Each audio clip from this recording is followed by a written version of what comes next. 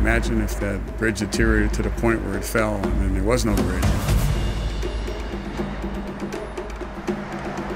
Once there's enough corrosion, the steel fails, and eventually they would fall down.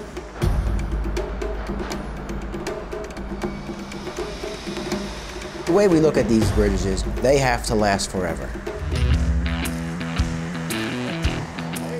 I don't think there's anybody that wakes up in the morning and says, I want to be a bridge painter. we like to say everyone who works on a bridge has to be a little bit crazy. There's nothing cosmetic about it. This is about protecting the structure. This is all about corrosion control. There's nothing I like more than going past a bridge and being able to show my kids I was part of painting that bridge. One out of a 100 guys can do it. And if you're not cutting yourself or bruising yourself every day, then yeah, you're not doing something right. Oh, it's nothing there. It's nothing. Because it came from so high, it ended up falling on my hand, and everything started to swell up.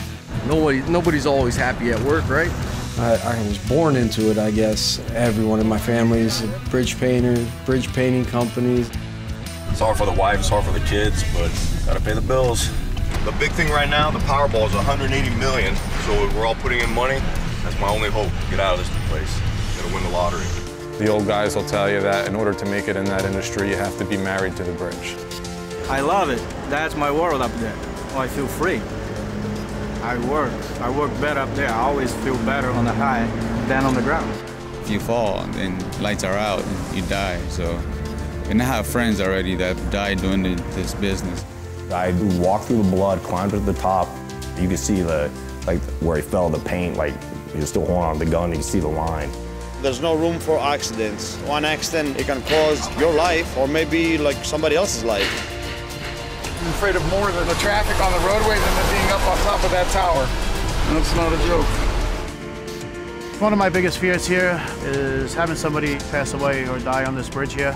You get very close to these people that you're working with. You're with these guys more than with your family. It'd be really devastating to see something happen to one of these guys because they're like your family members.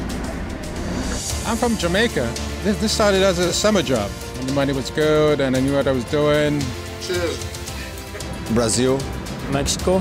I was born in Honduras. And everybody called me cowboy. You gotta have a nickname. You gotta. You can't use what they get your mother gave you. You're not with your mother anymore. This is your new family. That's it.